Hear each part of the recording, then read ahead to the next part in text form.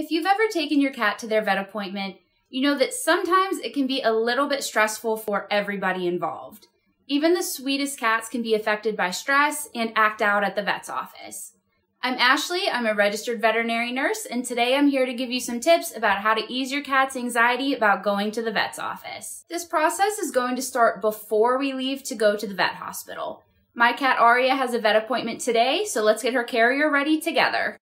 I start by getting her favorite blanket and spraying it with a pheromone spray like Feliway. This pheromone spray helps our cats feel more calm and comfortable. After I spray the blanket, it goes into her carrier.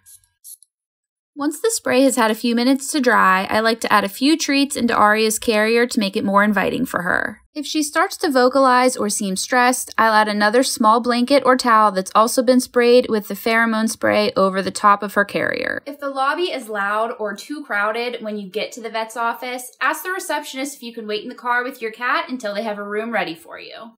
Once you're in an exam room, you can let your cat decide if they want to explore the room or stay in their carrier. It can be helpful to speak softly and give your cat gentle pets during their exam to help keep them relaxed.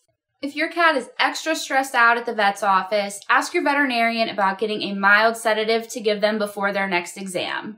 If you have any other questions about easing your cat's anxiety, our team of registered veterinary nurses is here to help.